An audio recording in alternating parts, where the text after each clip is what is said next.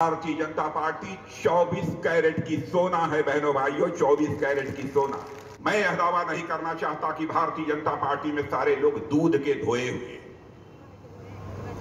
लेकिन इतनी बात मैं दावे के साथ कह सकता हूँ, भारतीय जनता पार्टी से हिंदुस्तान की एक ऐसी राजनीतिक पार्टी है, जब भी चुनाव आता है, अपने घोषणा पत्रों में जो भी वादे करती है वह भारतीय जनता पार्टी अक्षरशः अपने वादों को पूरा करती है, बहनों भाइयों। अब यह जंग लगा हुआ लोहा है।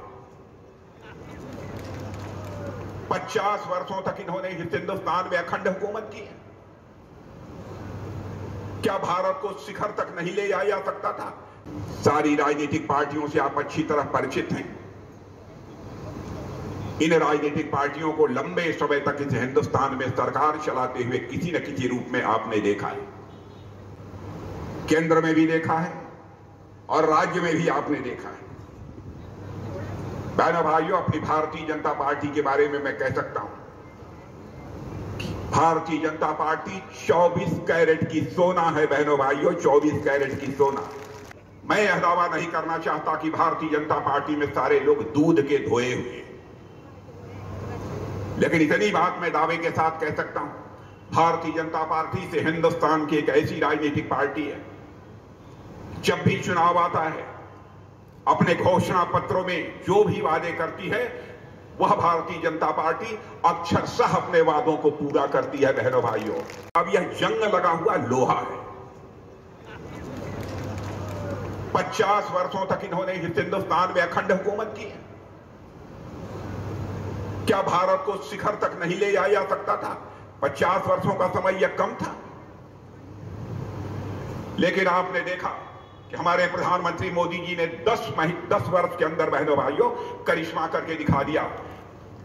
कोई माने या ना माने सारी दुनिया मानती है 10 वर्षों के अंदर भारत का कद सारी दुनिया में ऊँचा हुआ है।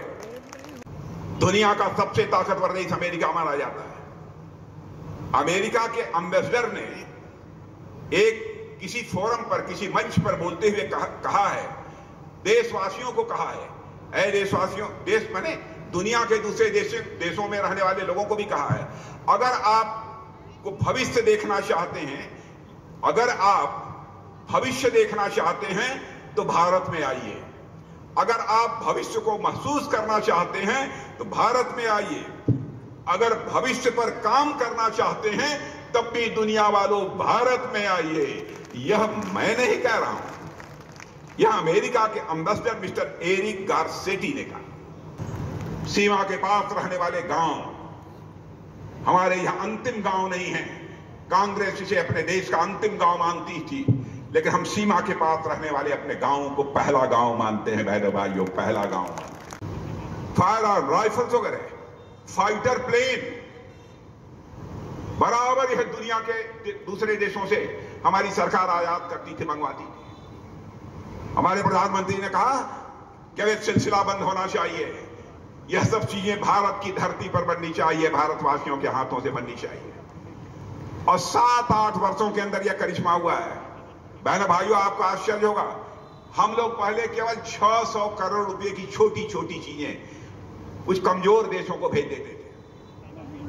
आज हम फाइटर प्लेन भी भारत में बना रहे हैं, भारतवासियों के हाथों से बना रहे हैं।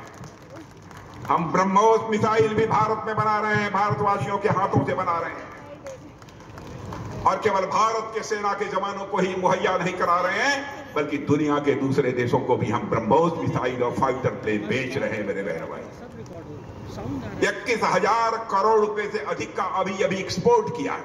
यह है भारत की ताकत। और हिंदू, मुसलमान का भी कभी कभी इधर करके प्रधानमंत्री को बदनाम करते हैं। बहनों भाइयों, सुन लो आप। अपने प्रेस के दोस्तों से भी कहूँगा, इसको भी पता लगा लीजिएगा।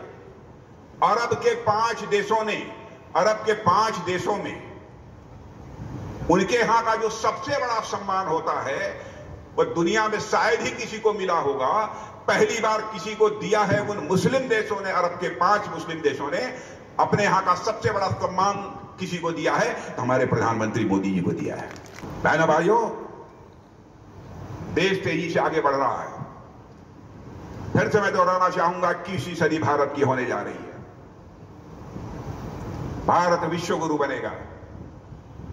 आप सबका समर्थन चाहिए।